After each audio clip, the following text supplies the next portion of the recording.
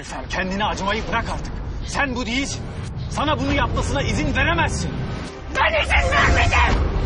Sen izin verdin. Bu kıza sen inandın. Az kaldı. Gülfem sipahi silinecek. Niye geldin? Ben senin için gelmedim.